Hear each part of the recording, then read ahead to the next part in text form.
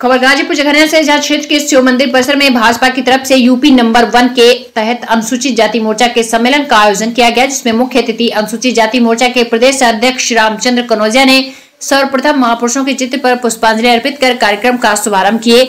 लोगों को संबोधित करते हुए कहा कि पिछली की सरकारों में जो सम्मान अनुसूचित वनवासी समाज के लोगों को नहीं मिल पाया है, वह सम्मान भाजपा में यशस्वी प्रधानमंत्री नरेंद्र मोदी और मुख्यमंत्री योगी आदित्यनाथ द्वारा लोगों को मिला।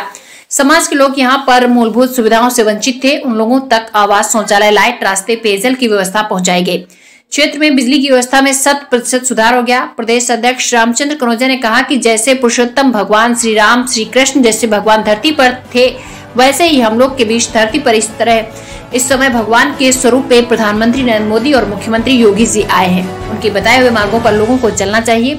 पिछली विपक्षी की सरकार ने अनुसूचित वनवासी समाज के लोगों को अंधकार में रखा।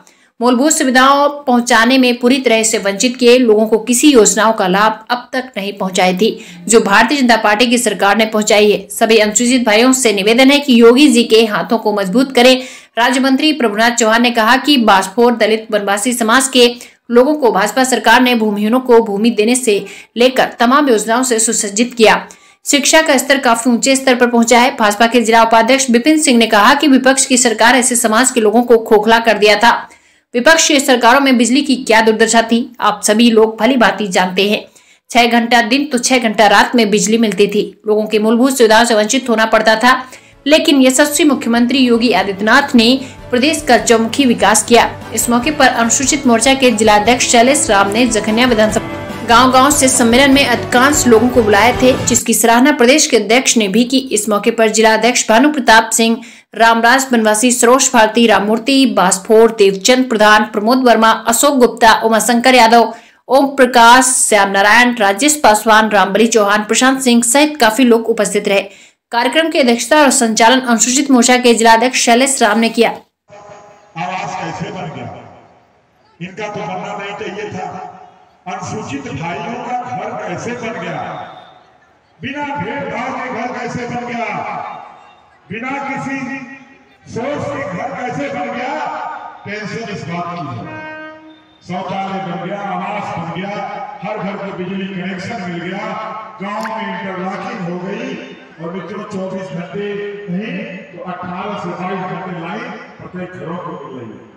मित्रों, इसको याद करिए। जितना देर में बनारस और उससे थोड़ा देर ज़्यादा लगेगा पहुँच जाएँगे लखनऊ पीजीआई में।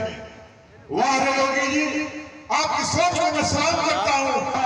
आपको इस ईश्वर कार्यकर्ताओं को गौरव प्राप्त होता है आप हमारे नेता। विदेशों में चलता आप हमारे मुख्यमंत्री। समझने का विषय मित्रों ये ये वही धराशाही हो जाएँगे। और आपके घर अभी एक बने हैं दूसरा घर बनेगा। अभी आपको एक आवास मिला, दो आवास मिलेंगे। आपको शौचालय एक बना, दूसरा भी बनेगा। बिजली आपको और अधिक मिलेगी। चौबीस घंटे बिजली मिलेगी। लेकिन मित्रों, सरकार रहेगी तभी मिलेगी। सरकार को बनाना पड़ेगा।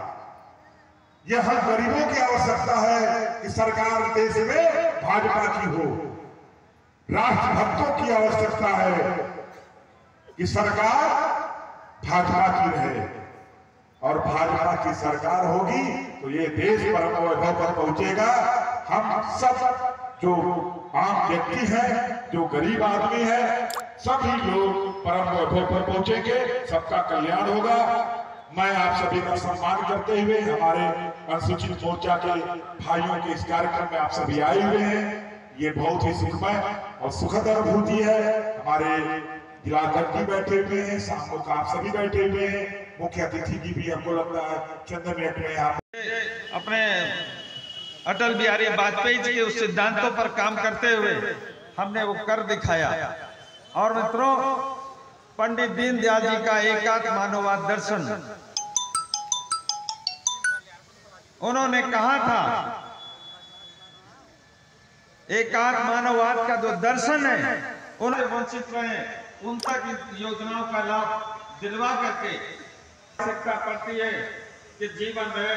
हम जीवन पर एक संघर्ष भी करते, उसके लिए एक आवाज़ हो जाए, घर में बिजली हो जाए, नल लग जाए, और मैं बीमार पड़ूं तो मेरी आसानी से मेरा इलाज भी हो जाए।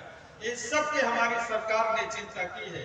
चाहे प्रधानमंत्री जन औषधि केंद्र हो, और इसमें कोई झूठ नहीं, मेरे जितने भी कार्यकर्ता हैं बड़े साहस के साथ, हिम्मत के साथ जनता का और उन विरोधियों का सामना करते हैं, कर सकते हैं, जो हमेशा झूठ और हम सबको कंफ्यूज करने का काम करते हैं, बहकाने का काम करते हैं। हमने ज़मीन पे काम किया है और हमने जितनी भी योजनाएँ हैं, भ्रष्टाचार से मुक्त हो। भ्रष्टाचार से मित्रों, अपराध बढ़ता है। वो कैसे? आप सब बैठे हैं, हम भी बैठे हैं। जीवन पर्यंत जो मैंने अभी ज़िक्र किया कि इन चीज़ों के लिए हम संघर्ष में आवास है, बिजली है, पानी है और और भी तमाम चीज़ें जो सुख सुविधा बच्चे